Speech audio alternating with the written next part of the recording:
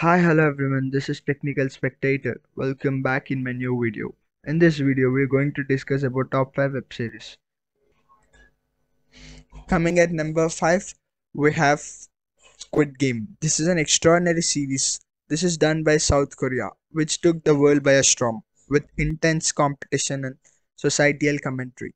This is a brilliant plot where the contestants in that financial situation competed in deadly children's game for a chance at huge money.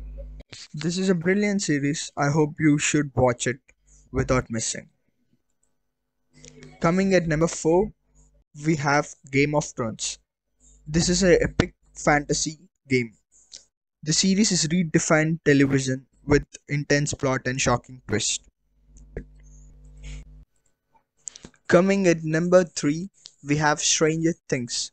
This is an extraordinary series which is of friendships and supernatural elements and etc. The plot is of a group of kids uncovers government experience and alternate dimensions while searching for their missing friend. This is family entertainment series which you can watch with friends, with family, and you can enjoy overall the series of strands. So now let's go to the top two, which is Money Heist. This is one of the famous and heard series on Netflix. It is Spanish heist drama keeps viewers on the edge of their seats. It is clever plotting and emotional depth. The plot is of a group of robbers led by the huge brain diffuser called Professor. He executes an intricate plan to steal money from Royal Mint of Spain and Royal Bank of Spain. This is a five seasons. You, you can enjoy it by each of every season by watching. Coming at number one, we have Breaking Bad.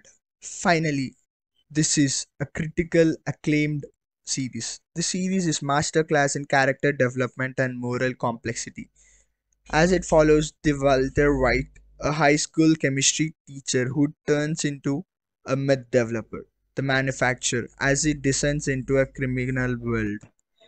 Is the character formation from the Walters to the Heisenberg is unforgettable. The moment of Walter declares, I'm the only one who knocks. This is a brilliant series you can enjoy. These are my 5 recommendations to watch. I hope you would enjoy this video. So, I really want you guys to watch it and enjoy it. So, that's it for the video. Thank you.